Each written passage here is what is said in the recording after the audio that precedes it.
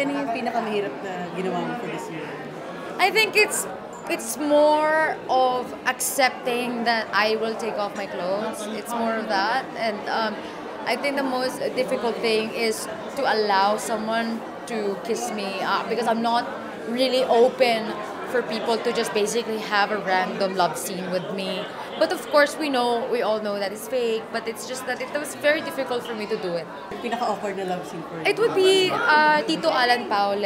It's just so difficult to like um, uh, have a love scene with someone that's really much older than me, and it's just that so awkward for me because I feel like you know he's like my father or like my uncle. So that was very difficult for me. But at the end of the day, I have to be very um, professional. So I'm happy with that.